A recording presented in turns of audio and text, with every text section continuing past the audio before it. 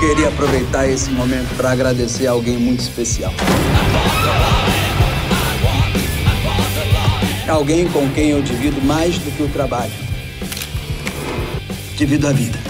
E esse alguém é Deus. Gente, um prazer falar com vocês sobre esse filme. Me diverti muito. Eu já tava esperando algo do tipo por conta dos spots que a gente recebeu, do trailer.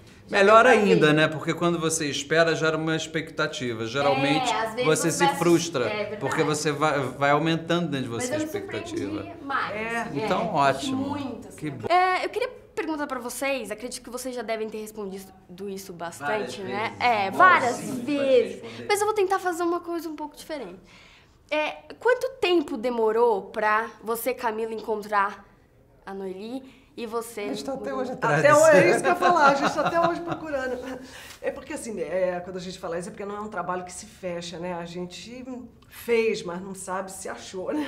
É. Mas levou muito tempo, porque esse filme, antes da gente começar a filmar, a gente já conversava com o filme um ano antes, mais de um ano antes, tá?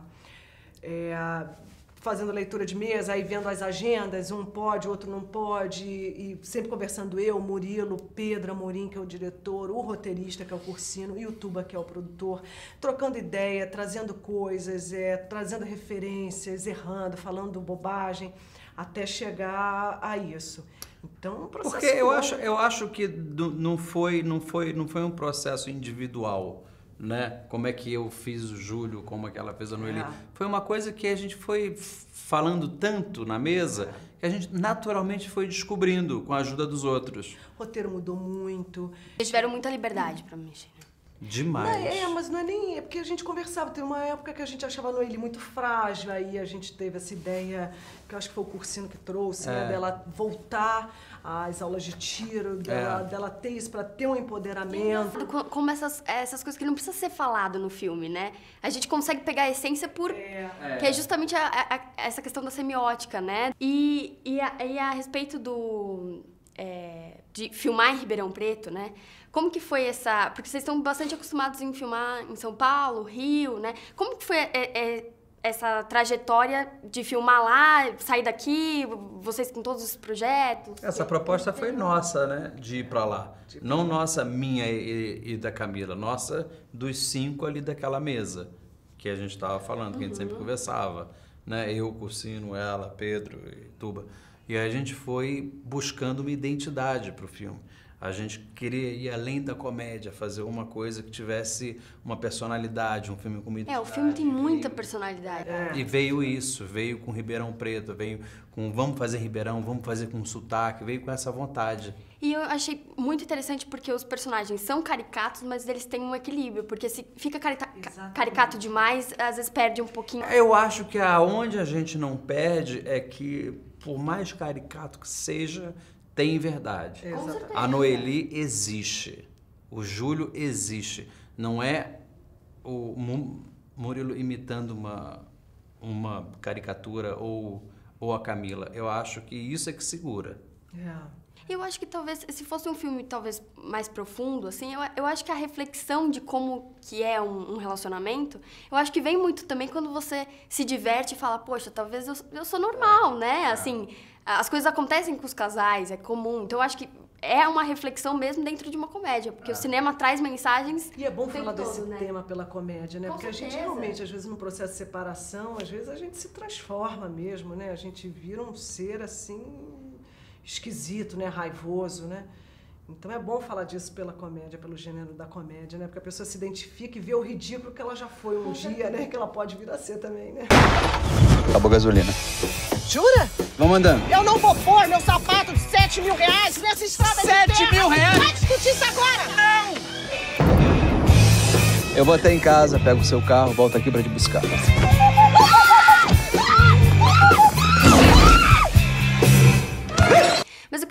Vocês, é, quanto tempo demora, demorou as filmagens? A gente filmou em sete semanas. Sete É, semanas? O processo do filme é bem mais longo do que esse, né? A gente ficou uns dois anos envolvidos na produção. A história em si surgiu há quatro anos atrás. Então eu e o PC estamos nessa há quatro anos Quatro juntos. anos. Quatro anos. Quatro, Quatro anos. Mas vocês não se divorciaram, não. Não, ao contrário, quase acho que casou de vez. Casou de vez, né? O que aconteceu foi que nós nos divorciamos das nossas mulheres.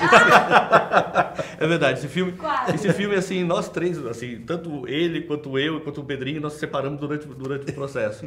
Mas é aquela coisa, o divórcio faz parte da vida, tá, tá aí, o divórcio é uma coisa real, acontece todos os dias. É claro que eu, eu acho que é até maior do que o de casamentos hoje, então é até um pouco da ideia do filme de discutir divórcio, de rir do divórcio, vem daí, entendeu? Assim, porque hoje tem muito, né? As pessoas se divorciam mais do que se divorciavam há 10 anos atrás. Então, É, antes era um tabu, né? Não, só para você ter uma ideia, tem uma pesquisa que passou pela gente que dos casamentos que chegam a, a, a 10 anos, 75% separa. Ou seja, 75% dos casamentos não passam 10 anos de convivência. Sim. Então é um tema muito próximo de todo mundo, né? Assim, de todo mundo não. Tem aqueles que ficam casados, né? Enfim, assim, aquela minoria sortuda que deu certo, que você fica, caramba, como é que consegue, tal. Mas a grande maioria é com a gente, fala, caramba, o que, que eu fiz de errado, né? E aí o filme brinca com isso, né? Assim, o que, que você fez de errado no seu divórcio, né? E ele posta as loucuras por trás disso tudo. Não, e às vezes deu certo enquanto durou também, né? E vocês acham, é, na verdade rolou na coletiva, né, esse assunto sobre é, se, se as pessoas que estão passando por um divórcio, coisa do tipo, é, ao ver o filme, ref- vão refletir sobre o divórcio. E aí é, tem essa questão de ser uma comédia e tudo mais, mas tem uma reflexão por trás disso, né? Talvez de, de no final perceber, poxa, talvez eu não seja tão, tão diferente assim, talvez dê pra recuperar alguma coisa. Eu acho que qualquer obra cultural, não importa a sofisticação, o refinamento dela, ou quanto ela é aberta ou fechada, qualquer obra cultural permite que você reflita em algum ponto. Então, seja, até um simples, um simples eh, quadrinho de duas tirinhas é capaz de fazer você pensar sua vida às vezes, né? Então eu acho que sim, a gente sempre tem camadas de leitura. E nesse filme especial, ele é construído assim, né? Ou seja, se você começar a olhar a razão pela qual eles se separaram, falta de conversa. E quantas pessoas não conversam e, e acabam se divorciando por isso? Então eu acho que sim, sempre tem outras camadas pra gente poder aproveitar. E me fale um pouquinho sobre as locações. A casa, como que foi isso? Porque vocês disseram que o, o apoio no- em Ribeirão Preto foi a questão das ruas, o que acontece em qualquer cidade, né? Como que foi o processo das locações em si? Então, é, muito pouca gente filma em Ribeirão Preto. Então, o desafio um foi explicar para eles o que a gente ia fazer, né? Olha, eu vou pegar a sua casa, ficar tantos dias com ela, vou te devolver ela inteira depois, vão entrar aqui 40, 50 pessoas. É, o processo foi, foi, foi muito único, foi muito sui generis, foi a primeira vez que a gente faz isso. Quando você filma no Rio ou em São Paulo, tem casas que estão acostumadas já a, ce- a cederem as- os espaços para locação, né? Então lá foi meio como, como começar do zero. Mas foi muito interessante, porque o ganho disso qual é? Você tem um oxigênio novo, você tem coisas novas aparecendo. Eu acho que isso imprime no filme. É, e cinema, na verdade, assim, quando pega uma casa, né, devolve ela inteira. É televisão que parece que Átila não passou, entendeu? Porque é tudo muito rápido. Então, quando devolve a casa, sabe, sabe vem com, sabe, fita isolante na cortina, sabe? Aquela coisa assim. E a- o cinema não, o cinema entrega direitinho, gente. Pode emprestar à vontade nos próximos pra gente, a gente entrega legal, faz uma, divulga a tua casa, decoração, a gente faz tudo. Hoje é sexta-feira, dia de beber. Paula! Mãe, você vai agora pra casa e você vai levar ela. Morar no interior é um cu. Sábado, cerveja, churrasco e a galera me espera.